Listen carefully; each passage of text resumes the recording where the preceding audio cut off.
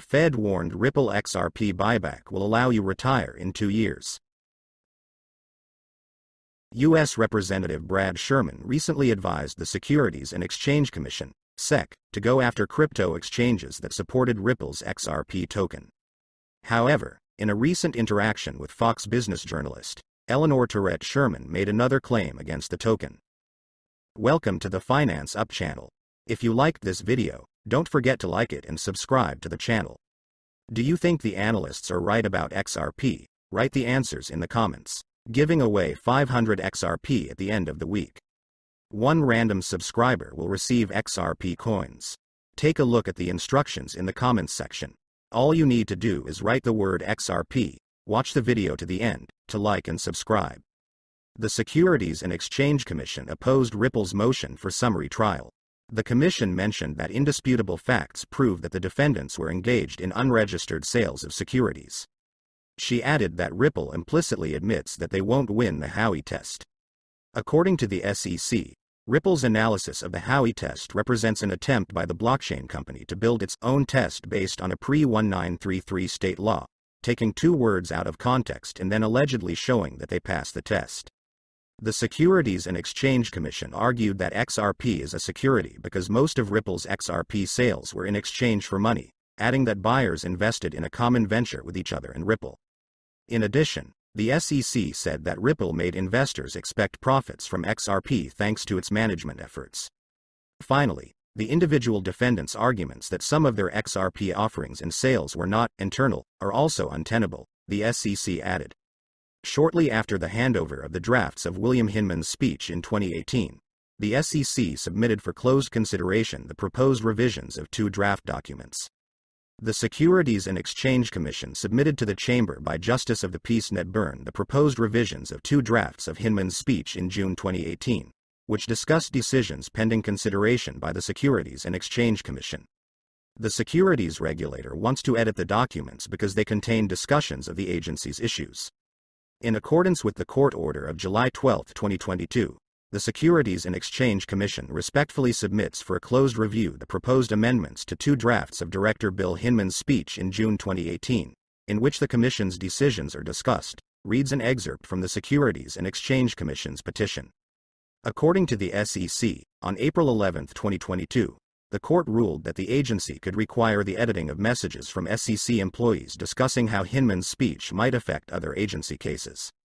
The SEC hereby submits these two documents with the proposed revisions highlighted in yellow on page 6 of Record 29 and page 5 of Record 35. And therefore seeks to make appropriate changes to these two documents, he concluded. The proposed amendments were submitted to Judge Sarah Netburn for consideration. Ripple is expected to comment on the SEC's request in the coming days. As reported, the Securities and Exchange Commission finally handed over to Ripple drafts of Hinman's scandalous speech in 2018 by order of Judge Analisa Torres.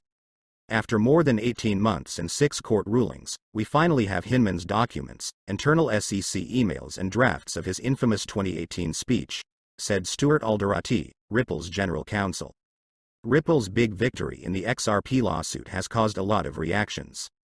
Stuart Alderoty, Ripple's general counsel, said that after a long 18 months of waiting and six court orders, the SEC finally refused Hinman's documents. However, these documents do not contain evidence of whether XRP is a security or not. Meanwhile, Ripple's general counsel mentioned that for now these documents will remain confidential. He added that getting these notes was worth fighting for. Ripple CEO Brad Garlinghouse in his tweet on October 21 shared a message from Ripple General Counsel Stuart Alderoty, in comments to which he urged not to believe the SEC. According to Garlinghouse, the SEC's decision to finally hand over the documents to Ripple is an attempt by the agency to give people the idea that it cares about disclosure, transparency, and clarity. The SEC wants you to think that it cares about disclosure, transparency, and clarity. Don't believe them. When the truth eventually comes out, the shame of their behavior here will shock you. To the surprise of many in the community, this tweet was answered by Tesla CEO Elon Musk, who wrote, No way, showing his support for XRP and criticism of the SEC at the same time. The richest man in the world has been continuing the confrontation with the SEC for years and knows what he is talking about. In a recent tweet, Ripple CTO David Schwartz made it clear that he has no intention of leaving the company. Schwartz says he might have started a new project from scratch. He says there are a lot of new things he would like to work on. However, he doesn't want to make just a formal effort. Schwartz admitted that he no longer has the passion needed to launch a new major project. Ripple's trillion dollar man, who is the architect of the XRP ledger, says he doesn't want to work 50 hours a week for the next two years. I'm just not ready for it anymore, he said. Schwartz claims that he had such a busy work schedule when he worked on XRPL together with Stephen Thomas, Arthur Britto and Chris Larsen. However, he does not think that he will be able to lead such a large-scale project again. Speaking about his work at Ripple, Schwartz says that he likes the fact that the company allows him to work with advanced technologies and create products that have not yet been solved. On October 21, veteran cryptographer Nick Bougalis announced that he was parting ways with Ripple.